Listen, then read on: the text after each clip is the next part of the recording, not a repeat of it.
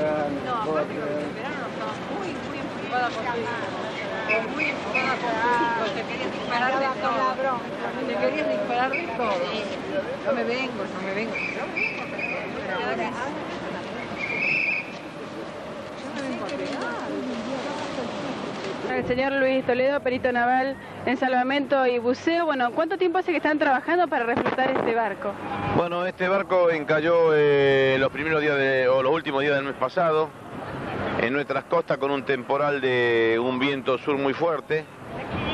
Este, empezamos a trabajar el día 3 de este mes sacarle 1500, 1500 cajitas o cajones de pescado y refular 9.000 litros de gasolina, se- o sea, de hidrocarburos.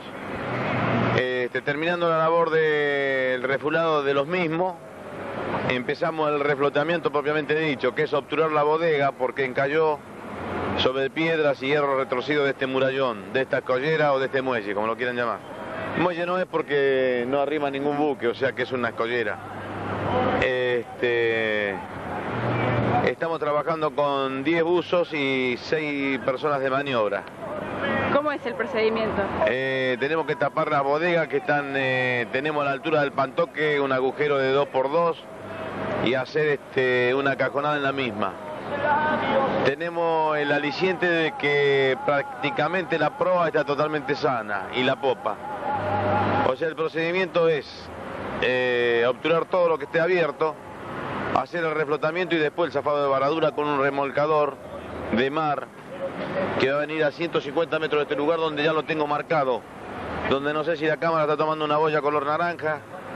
Ahí tengo un fondeo de un cable del, del 30, nosotros decimos 29-30, listo para tirar. Lo que nos tiene que favorecer sería las mareas. En este momento tenemos, en el día, durante el día tenemos mareas muy bajas, de un metro veinte, un metro treinta de, de, de marea. Las mareas grandes están de noche, pero eh, de noche el remolcador eh, no es que no quiere, sino que es, es medio peligroso hacer el tiro. Vamos a esperar el día lunes o martes y vamos a hacer una prueba a la mañana, tipo 10 de la mañana, a ver si lo despegamos y lo llevamos a muelle. ¿Se trabaja día y noche? Y hay días que trabajamos día y noche, hay días que no. Hay es según el tiempo, porque toda esta semana pasada hemos tenido tiempo feo. ¿Y esto, entonces, cuánto tiempo les falta para poder llegar a terminarlo?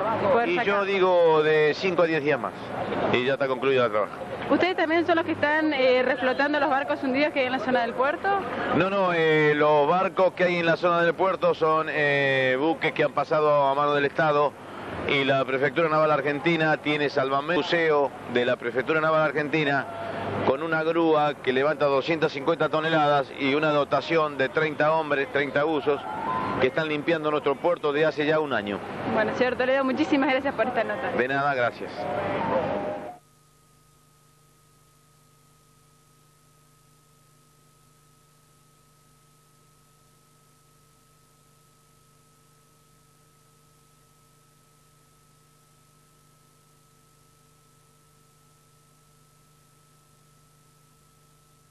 En la zona del Torreón del Monje, siendo testigos de las obras que se están llevando a cabo para eh, remodelar, para restaurar y a su vez se está, se está trabajando para ganarle tierra al mar.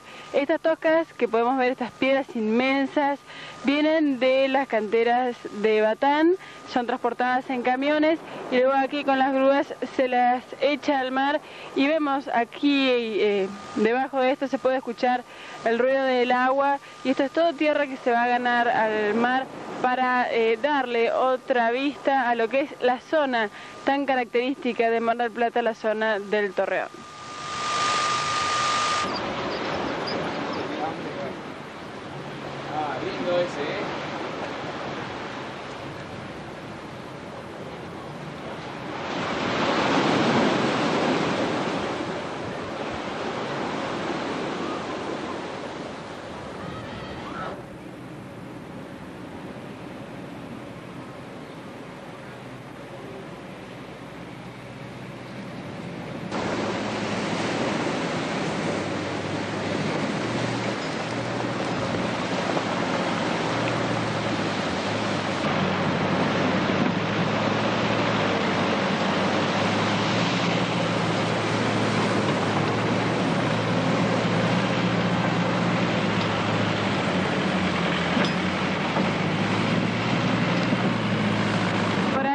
Demostrado que la ciudad de Mar del Plata tiene deficiencias en lo que es el sistema del drenaje de las aguas.